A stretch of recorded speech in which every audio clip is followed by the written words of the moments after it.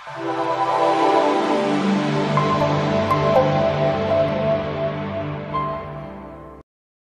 I am Hammad Ali and our course Java for beginners का आज का हमारा टॉपिक है ऑपरेटर्स ऑपरेटर्स जैसा कि हम जानते हैं कि ये किसी न किसी दो ऑपरेंट्स के ऊपर ऑपरेशन करने के लिए यूज़ होते हैं। हमारे पास जावा के अंदर कई ऑपरेटर्स हैं, जिनमें से कुछ अर्थमेटिक ऑपरेटर हैं, कुछ कंडीशनल ऑपरेटर हैं, और कुछ हमारे पास ऐसे ऑपरेटर भी हैं जो कि सिंगल ऑपरेंट के ऊपर भी अप्लाई हो सकते हैं। तो जो ऑपरेटर हमारे पास एक से ज़्यादा ऑपरेंट के ऊपर अप्लाई होते हैं, उनको हम बाइनरी ऑपरेटर बोलते हैं और ऐसे ऑपरेटर जो कि सिंगल वेरिएबल या सिंगल ऑपरेंट के ऊपर अप्लाई होते हैं, उनको हम यूनिरी ऑपरेटर बोलते हैं। आइए हम इसको ज़रा नेटविन के ऊपर थोड़ा सा प्रैक्टिस करके देखें।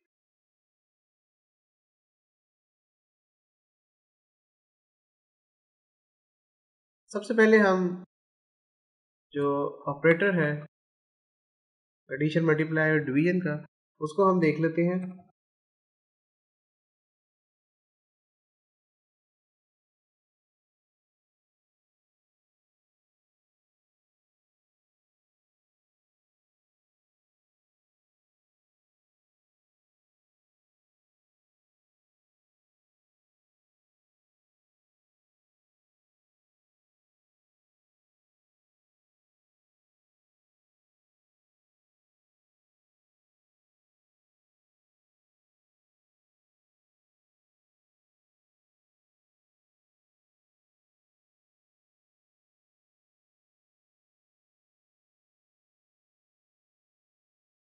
यहाँ हमने एक सिंपल सा ऑपरेटर यूज़ किया है प्लस का ऑपरेटर और हमने उसको जब एग्जीक्यूट किया है तो उसने जो दो वेरिएबल्स थे, उनकी वैल्यू को प्लस कर दिया है। आप इसके अंदर वेरिएबल की वैल्यू भी प्लस कर सकते हैं और कांस्टेंट की वैल्यू भी प्लस कर सकते हैं। लेट से मैं यहाँ पे एक वेरिएबल और एक कांस्टेंट को ले लेता हूँ तो तो भी ये अपना कोई ना कोई रिज़ल्ट जनरेट कर देगा। जैसे कि हमें पता है कि ए के अंदर वैल्यू टेन है और सी के अंदर जो है वो हम टेन प्लस, यानी ए के अंदर टेन वैल्यू और प्लस फिफ्टी कर रहे हैं तो ये सिक्सटी हमारे पास यहाँ पे आंसर आ रहा है। इसी तरह हम जो हमारे पास ऑपरेटर है, दूसरे सब्ट्रैक्ट का ऑपरेटर, उसको यूज़ करेंगे तो हमारे पास सब्ट्रैक्शन का रिज़ल्ट आ जाएगा, क्योंकि ट्वेंटी में से टेन माइनस करेंगे तो माइनस टेन ही आएगा। इसी तरह हमारे पास मल्टीप्लाई का ऑपरेटर है, अगर हम इसको यूज़ करेंगे तो ten multiply by twenty two hundred आ जाएगा। हाँ अब अगर हम यहाँ पे ये देखें कि हम इसमें से कुछ ऑपरेटर्स जैसे ए प्लस बी और उसको मल्टीप्लाई कर रहे हैं हम किसी वेरी किसी कांस्टेंट के साथ तो इस सूरत में हमारे पास क्या रिज़ल्ट आएगा? इसको हम देख लेते हैं, इसको हैं। अगर हम देखें तो हमारे पास जो लेफ़्ट टू राइट जो सीक्वेंस बन रहा है वो ए के अंदर बी प्लस हो रहा है।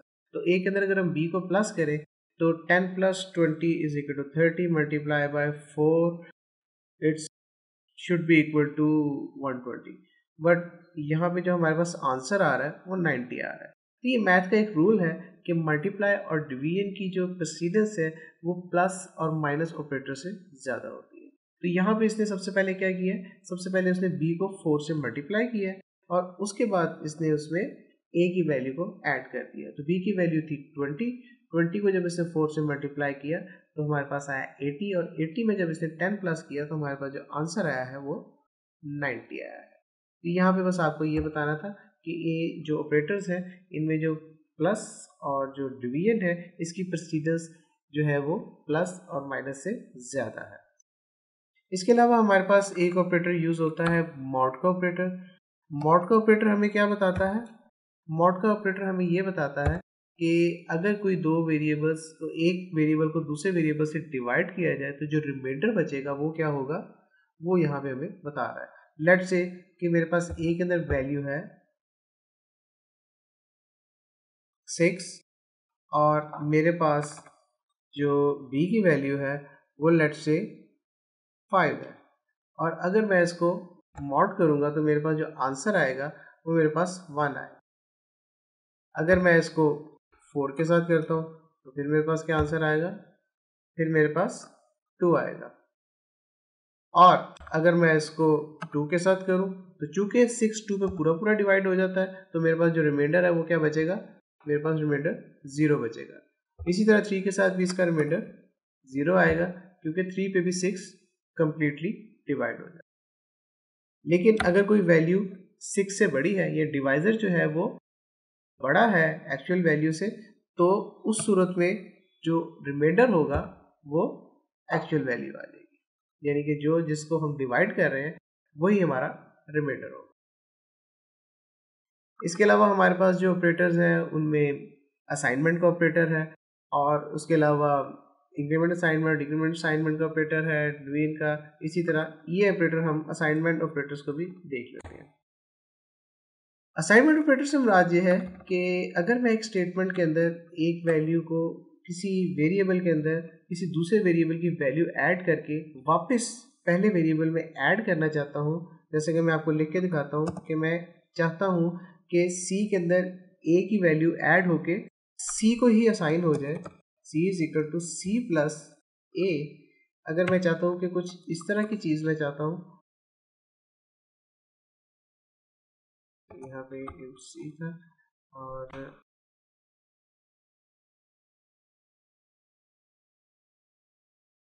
C is equal to C plus A अगर मैं ये चीज़ चाहता हूँ तो यहाँ पे ये एरर तो दे रहा है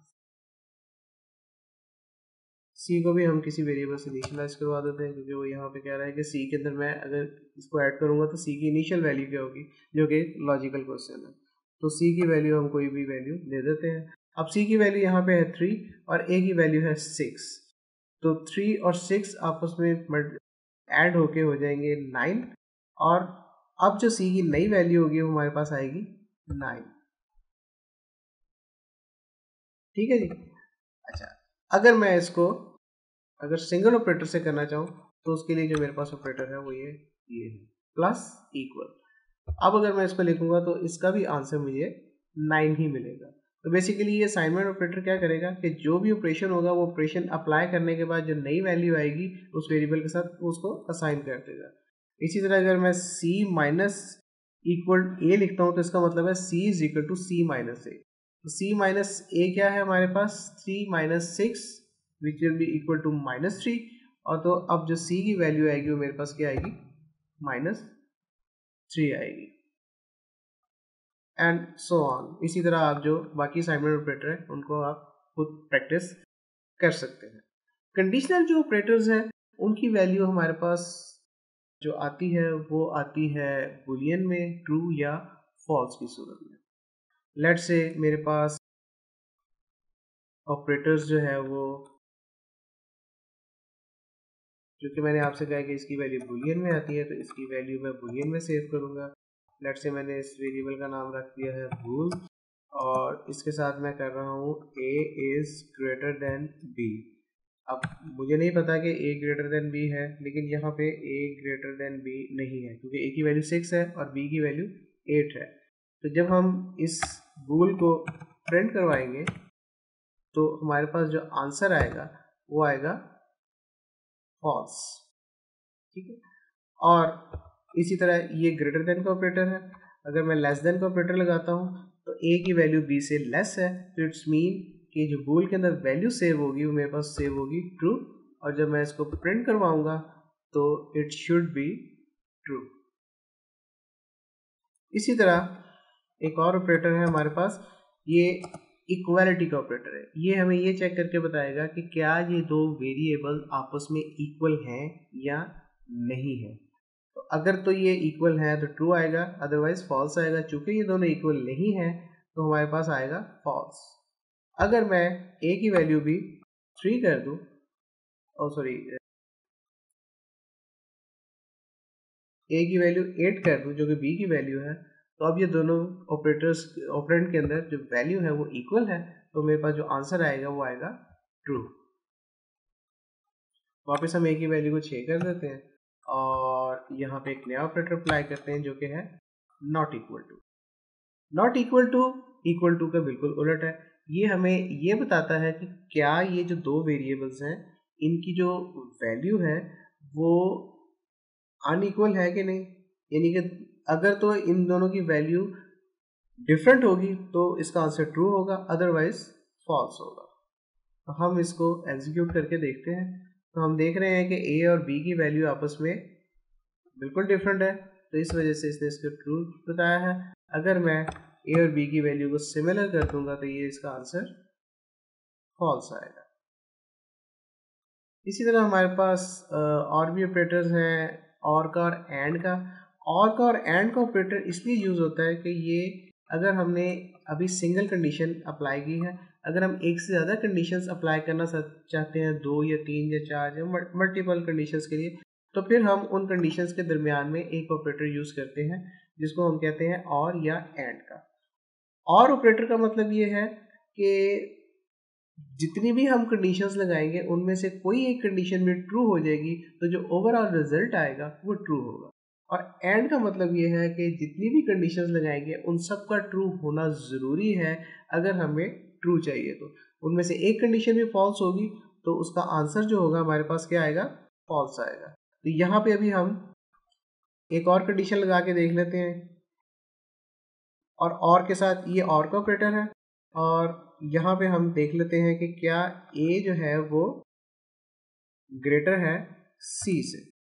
अब अगर आप देखें तो यहाँ पे हमारे पास ए जो है उसकी वैल्यू सिक्स है और सी की वैल्यू थ्री है। तो ऑब्वियसली ए की वैल्यू जो है वो सी से बड़ी है और हमारे पास जो दूसरी कंडीशन है, वहाँ पे हमारे पास जो वैल्यू आएगी वो ट्रू आएगी। तो अगर दूसरी वैल्यू हमारे पास ट्रू है और पहली वैल्यू भले से हमारे पास फॉल्स भी हो तो इवन देन जो हमारा आउटपुट होगा वो क्या होगा? आउटपुट हमारी ट्रू ही आएगी। वेरस अगर मैं एंड ऑपरेटर यूज़ करता हूँ तो एंड ऑपरेटर मुझे ये बताता है कि मेरे पास दोनों कंडीशंस का ट्रू होना ज़रूरी है। अब मुझे पता है कि राइट right साइड वाली कंडीशन मेरी ट्रू है और लेफ़्ट साइड वाली कंडीशन मेरी फॉल्स है तो इसका आंसर जो मेरे पास आएगा, वो फॉल्स आएगा। अब अगर मैं यहाँ पे इसको इक्वल कर दूँ और दोनों कंडीशंस को ट्रू कर दूँ, आप जानते हैं कि ए की वैल्यू सिक्स है बी की वैल्यू सिक्स है ए जो है वो सी से ग्रेटर है, इसका मतलब है कि ये दोनों कंडीशन जो है हमारे पास ट्रू हैं। अगर ये ट्रू है तो इसका मतलब है बुलियन में मेरे पास जो वैल्यू आएगी, वो क्या आएगी? ट्रू आएगी। ठीक है? तो ये हमारे पास एंड ऑपरेटर्स इसके अलावा नॉट ऑपरेटर है। नॉट ऑपरेटर क्या करता है कि नॉट ऑपरेटर जो भी हमारे पास कंडीशन होगी इस वक्त बुलियन में जो भी हमारा आंसर आ रहा है, ये उसको हमेशा रिवर्स कर देगा। ट्रू है तो फॉल्स कर देगा फॉल्स है तो ट्रू कर देगा। लास्ट टाइम जब हमने देखा था तो हमारे पास जो आंसर आया था वो ट्रू आया था। लेकिन अगर मैं इसके साथ नॉट का साइन लगा दूँ और अब मैं इसको एग्जीक्यूट करूँ तो आप देख सकते हैं कि मेरे पास यही वैल्यू फॉल्स आ रही है। ठीक है जी? तो नॉट ऑपरेटर का काम क्या है? अगर मैं यहाँ पे इसको नॉट कर दूँ और अब मैं अगर देखूँ तो मेरे पास जो आंसर आ रहा है, वो फॉल्स आ रहा है। और अगर मैं इसके साथ दोबारा नॉट ऑपरेटर अप्लाई कर दूँ तो ये इसको कन्वर्ट करके क्या कर देगा? ट्रू कर देगा। तो इस तरह इसने इसको ट्रू ऑपरेटर कंडीशनर ऑपरेटर के अंदर जो नॉट ऑपरेटर है, वो उसको रिवर्स कर देता है। इसके अलावा हमारे पास दो और इंटरेस्टिंग ऑपरेटर्स हैं। जिनमें है एक इंक्रीमेंट ऑपरेटर और एक डिक्रीमेंट ऑपरेटर ये बेसिकली यूनरी ऑपरेटर है और ये सिंगल ऑपरेंट के ऊपर अप्लाई हो जाते हैं. सिंपल मैं यहाँ से इसको रिमूव कर देता हूँ. लेट से हमारे पास ए की वैल्यू है सिक्स तो यहाँ पे जो प्लस प्लस का ऑपरेटर है, ये क्या करेगा? ये ए के अंदर एक वैल्यू एडिशन कर देगा और जब मैं ए को प्रिंट करवाऊँगा तो ए की वैल्यू अब सिक्स नहीं है, बल्कि क्या है? सेवन है। ठीक है जी? यहाँ पे हमारे पास ए की जो वैल्यू आ रही है, वो क्या आ रही है? सेवन आ रही है।